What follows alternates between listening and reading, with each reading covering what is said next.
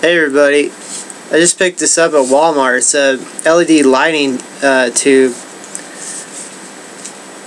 One side it doesn't light, on the other side it does.